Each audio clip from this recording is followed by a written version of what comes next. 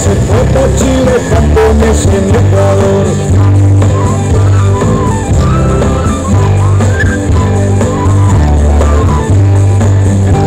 El mundo está malado con maderas de Brasil y grandes agujeros en la cera misionera. Europa no recuerda. Buenas tardes a todos. Este, acá me están haciendo el aguante porque hay que animarse para estar acá.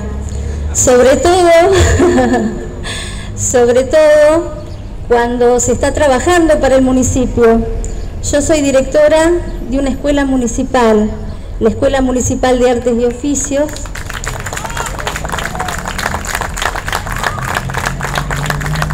que se encuentra este, en Villa Italia. Este, quiero contarles un poco de mi experiencia porque siempre sostuve que nos tenemos que juntar y me parece que este es el inicio de algo muy importante, de poder juntarnos realmente los que estamos trabajando para la cultura. Eh, yo creo que ahora lo que estamos escuchando es de gente que ha estado separada durante mucho tiempo. Yo siempre he apostado a eso, a que nos juntemos. Si esto se puede dar sería fantástico. Yo he tenido durante esta gestión este, situaciones muy difíciles y hablo un poco eh, por mí y por compañeros que a lo mejor hoy no están acá porque tienen miedo a perder su trabajo. Esa es una realidad. Y yo creo que uno no tiene que tener miedo cuando está trabajando. A nosotros nos pasó de estar este, más de un año con un mural de la escuela que no se podía hacer porque no nos lo permitían, porque nos exigían que presentáramos eh, cuestiones técnicas, que yo dije que si yo presentaba esas cuestiones técnicas que competen a mi personal, que es idóneo y está capacitado para eso, este, estaría ofendiendo a mi persona y a mi personal. Así me tuvieron un año sin realizar un mural de la escuela, este, que con anterioridad había estado hecho, simplemente como fue tapado con pintura y había que rehacerlo. Ese mural había hecho, fíjense ustedes, qué ironía, fue realizado en el año 84 y nadie, nadie nos dijo, este, no lo pueden hacer.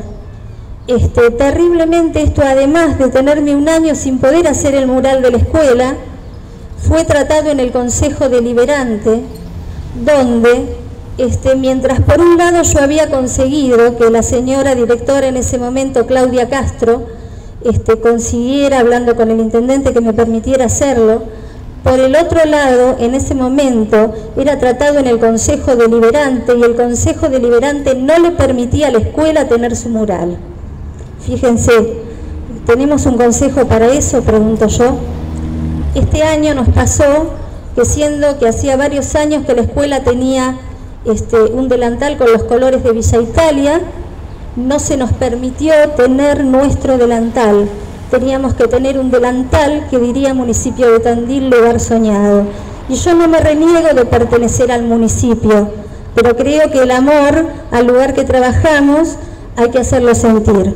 Yo lo he hecho sentir en mi gente y no me puse a discutir protegiendo a mis docentes de este año, no me puse a discutir por un delantal porque me parece que era una mediocridad, porque el tema no era adelantar, era la identidad, que es lo que no debemos perder eh, dentro de la cultura. Muchas gracias.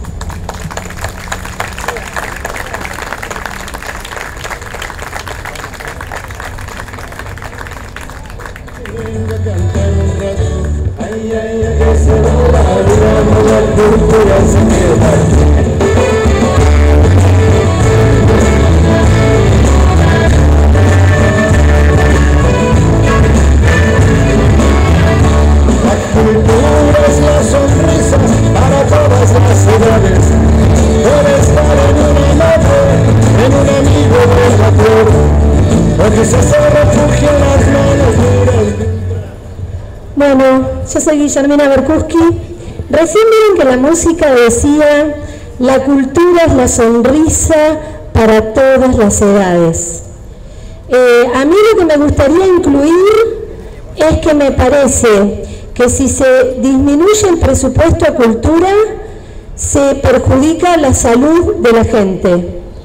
Me gustaría decirle al intendente médico no como murguista, como coordinadora de, un taller de música en el conservatorio, como madre, sino como médica, decirle como médica al intendente que la salud mental tiene muchísimo que ver con la posibilidad de que la gente se exprese, se divierta, cree, haga los murales que tenga ganas de hacer donde tenga ganas de hacerlo y use el delantal que se le ocurra.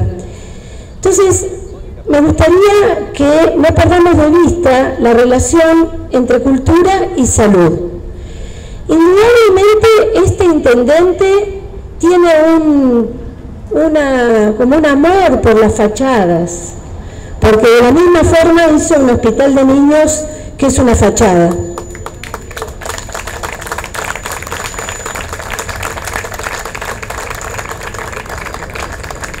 Que haya que aplaudir lo que es penoso, ¿no? Yo pensaba también que pone un Papá Noel y ahí hay un reloj que no tiene, que no tiene agujas. Como si el tiempo entendido pasara, como si esta ciudad no hubiese crecido y acá como la ciudad creció, creció el juego, crecieron los crímenes por el juego, creció la prostitución, creció el turismo sexual, creció la basura, creció el consumo de psicofármacos, creció la demanda en, psiquiatría y psicología. Y seguro que lo pueden decir también las colegas psicólogas que no solo formamos parte de una murga, sino que trabajamos todos los días con los problemas de la gente. Y los problemas de la gente, señor Intendente, se mejoran con la atención en salud mental, pero también se mejoran cuando funcionan los, los teatros, las orquestas, las bandas, cuando la gente pinta las paredes y se pone el delantal que le guste.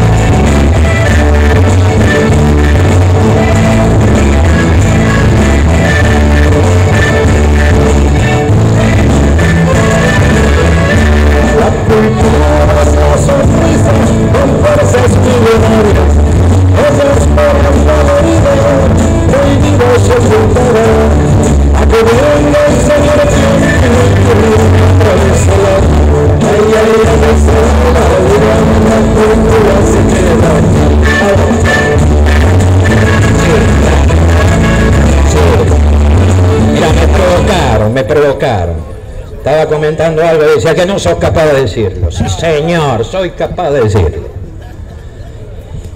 Recién cuando nos mencionaba las agujas del reloj, yo creo que todos miramos hacia arriba para ver las agujas del reloj. Son cosas pequeñas, pasamos todos los días por acá. Pero a nadie se nos ocurrió este, mirad cómo, falta en realidad hace tanto tiempo y las cosas son así y bueno, el reloj seguirá sin, sin las agujas, Guillermina. Yo vivo en la calle Paso de los Andes, que es la calle que va hacia el Parque Independencia, detrás de la Casa del Deporte, por si alguno no sabe. Esa se llama Paso de los Andes. Le hubieran puesto los Andes directamente. Paso de los Andes. Paso todos los días, bajo. Hay una placita chiquita que han puesto ahí a 100 metros del, del pórtico. Y le pusieron Pinocho a la placita de juego. Pinocho. Yo no estoy nada contra Pinocho.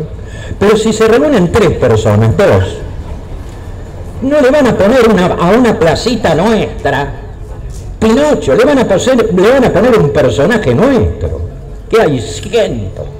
Patrocito hacerle un homenaje a, a María Elena Walsh. Mil, mil. Pero no Pinocho, que tiene alguna otra connotación. tiene alguna otra connotación que bien sabemos. A 20 metros de donde vivo, yo vivo en el Iglú, han hecho una hermosa senda aeróbica que baja hacia el lago. ¿Y qué nombre le pusieron? Coronel Dorrego. Dorrego nunca habrá hecho 100 metros llano en su vida porque siempre andaba a caballo. Coronel Dorrego. Estas dos cositas que le tiene que decir. No se juntaron dos para poner un nombre.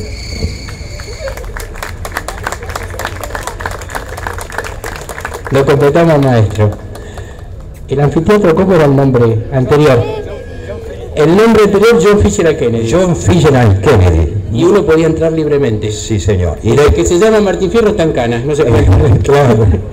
Pero además, la radio abierta acá. no, además, la- a- hablando de las, de las discusiones, que se junten dos para ver qué nombre le ponen. Si quieren hacer un muñeco de madera, Yo, pero la, can- la cantidad de discusiones que hubo por el nombre del anfiteatro.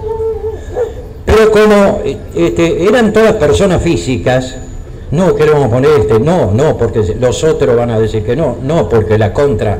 Entonces buscaron un personaje del que nadie, un personaje de ficción, del que nadie podía buscarle la vuelta. No, aunque, aunque fuera racista. Pero digamos, no, que pero estuviera en contra del indio, pero- en contra del negro, en contra del gringo, más racista que Martín Fierro, no vamos a pero, jugar. pero fue así, fue así. ¿eh? Por discusiones se puso un nombre de ficción. Bueno, radio abierta para ustedes.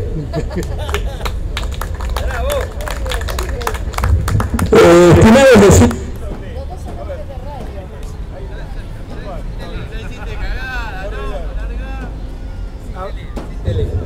Ahí está. Siempre hago lo que no debe, diría el intendente. Eh, después de hablar me quedé pensando en algo. Cuando nosotros votamos al Poder Ejecutivo, votamos a su vez a 20 concejales, a 20 legisladores de la ciudad. Es lógico que no estén tal vez los legisladores del intendente, pero los concejales, supuestamente opositores del Partido Justicialista del Frente para la Victoria, tampoco están aquí. Y esto me llama poderosamente la atención si no fuera porque es una actitud también reiterada cuando nos tocó pelear por la suerte del Cervantes. Es decir, es el conjunto de la sociedad política la que en definitiva desprecia la cultura. Quiero que quede claro, no hay un concejal en el lugar. Gracias.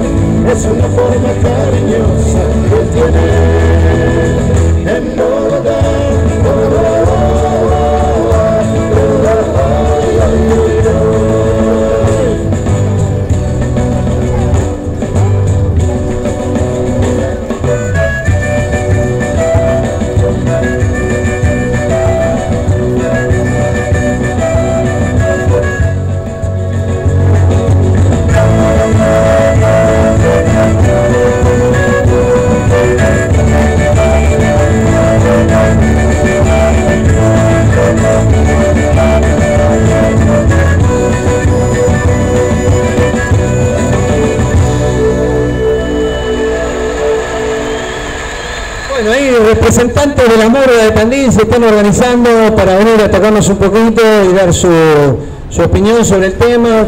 Eh, estamos buscando algún teatrista que quiera este, dar su opinión de la actividad. Bueno, ya creo que tenemos a Cuevas que va a expresar en nombre de los teatristas de Tandil la... Bueno, en nombre de los teatristas de Tandil, simplemente este, aportar a esto que me gustaría que no quedara nada más que en un debate, que podamos sacar algo, alguna movida de acá. Lo que nos cuesta a los teatristas hacer teatro en Tandil, a pesar de que somos muchísimos, que trabajamos y precisamente nos llamamos teatristas porque somos actores, limpiamos los baños, vendemos boletos, hacemos escenografía y vestuario y después actuamos. Todo eso lo hacemos a pulmón porque tenemos ganas y siempre se nos hace muy cuesta arriba. No hay espacios, tal como decían recién, las fachadas se nos vienen encima, las fachadas de los teatros se nos vienen encima. No hay técnicos adentro de los teatros. Este año decidieron que los domingos no trabajaban. Es decir, uno de los días que nosotros más podemos trabajar, los técnicos del Teatro de la Confraternidad no estaban porque se tomaban su franco. Eh, trabajar sin ningún tipo de apoyo desde la municipalidad, sin ningún tipo. Em, por mi parte también soy profesora de teatro y entrenamiento de actores, este año hice un congreso, lo único que recibí, un congreso latinoamericano, lo único que recibí fue una firma de apoyo del intendente. Entonces esta cuestión de em, ya de falta de respeto, ¿no? Porque uno lo hace porque lo ama, uno lo hace porque quiere, porque es la pasión de uno. Pero el vaciamiento y el mostrar la espalda a la gente que le pone el lomo todo el tiempo, no tiene otra palabra más que falta de respeto, de Siria. Entonces, mientras nos escuchara a todos, lo que pensaba era que uno que, nos podamos organizar para que esto se mantenga, si bien como una asamblea, si bien como algo, para empezar a tomar medidas, para proponer acciones, para que sume más gente, para que no quede en una reunión. ¿Sí? Me parece que eso también es ser hacedor de cultura y gestor de cultura. Esto es mi aporte desde el teatro decir esto, somos muchos, formamos mucha gente, hay una escuela municipal, está la facultad de arte, una carrera de cine, una carrera de teatro, y cuando queremos salir a la ciudad de Tandil a verter lo que nosotros producimos, nunca, jamás tenemos ningún tipo de apoyo, no hay ninguna persona acercándonos un equipito de sonido unas luces, un técnico, aportándonos un espacio para ensayar. No existe. Y muchas veces tenemos que caer en lugares patéticos, como son algunos bares de la ciudad, donde, por ejemplo, a mí me ha pasado, me han cancelado dos horas antes una función porque tenían una fiesta privada. Entonces digo, ese es nuestro laburo cotidiano y esa es la ausencia, no es una cuestión paternalista, es una necesidad de que haya desde una estructura de gobierno una respuesta contundente a la gente que hace teatro, a la gente que trabaja en la cultura. Nada más. Eh, lo que quisiera yo eh, proponer es que no quede simplemente en este descargo, sino que nos organicemos o pasemos un listado de gente con contactos que se empiece a generar algo. Si no, ellos se divierten con esto. De última bailemos, hagamos algo.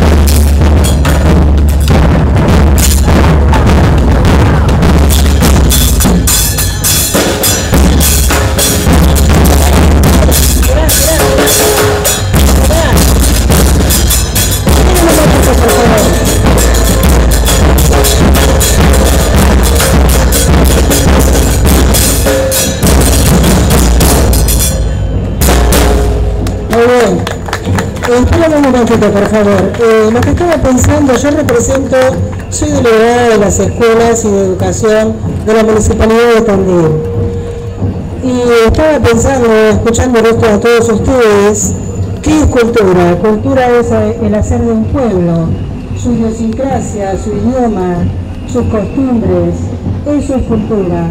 Y lo que he visto aquí es que todos los actores que estamos en esto de la cultura y en esto de vivir cada día, estamos todos cada uno por su lado, cada uno dividido, es lo que se ha visto acá.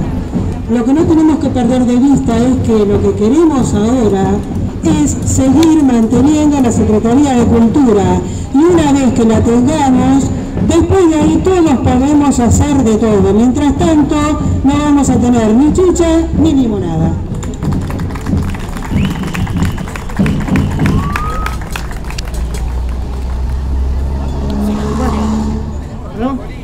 Bueno, eh, cortito lo nuestro. Bueno, lo que tocamos recién era un rejunte de murgas que estamos trabajando en los distintos barrios de acá de Tandil. Y bueno, en este momento estamos viviendo una denigración, eh, casi todos los grupos carnavaleros. Estamos mendigando como si fuera... En el carnaval tocamos más de 800 artistas y no, no nos toman nunca como artistas. Estamos peleando porque nos den un choripán y un vaso de gaseosa para cuando los chicos que terminan, vienen desde las 2, 3 de la tarde hasta las 10 de la noche o una o dos de la madrugada que se les hace en el carnaval, puedan comer algo como la gente.